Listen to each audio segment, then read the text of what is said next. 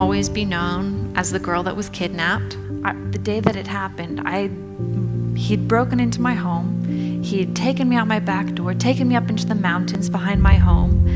And almost the first thing he did when he brought me into camp was he had his wife come out and he had her change me and she tried to sponge bathe me.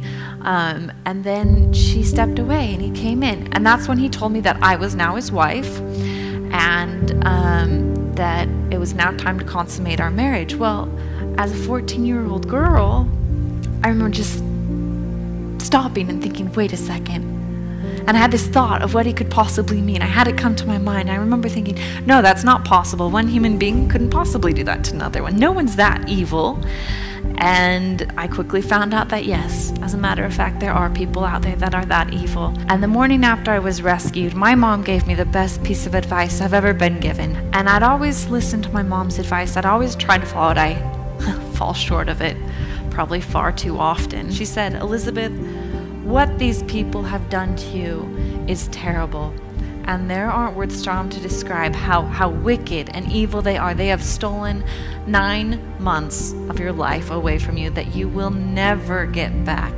But the best punishment you could ever give them is to be happy is to move forward with your life, to do all the things that you want to do because by feeling sorry for yourself, by holding on to the past, by reliving in it, that's only allowing them to steal more of your life away from you.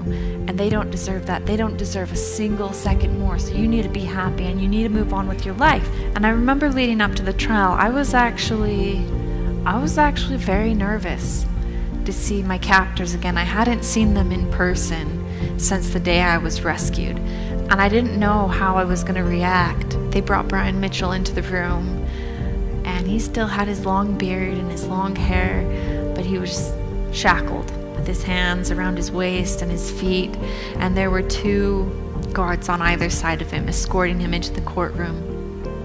And I realized in that moment that I had followed my mom's advice, that I didn't need to be scared of what he would make me feel because I realized that he had no power over me anymore.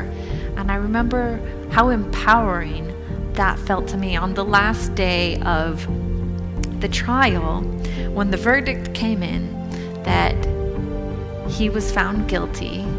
I remember the judge looking at me and asking me if I had anything to say to him. And I do remember just standing up and saying that he had no further hold on me, that he never would, and that I was going to live a wonderful life. And if I didn't say that in words, I certainly thought that.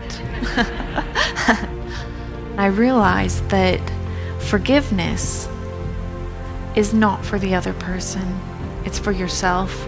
Life is so worthwhile, and no matter what has happened to you, no matter what your background is, no matter what your past is, each of us deserve to be happy. Bad things do happen, but that doesn't mean that they need to define us or to destroy our life. And yes, I may always be known as the girl that was kidnapped, but that's okay because I know that that's not all who I am. That happened to me, but I have not let that stop me from going on, getting married, having a family, becoming an advocate for change, becoming an advocate for women and children, and really all victims. We have things that happen to us, and yes, they shape us, they mold us, but they don't have to define us because, in the end, what defines you is how you react, are the decisions that you make.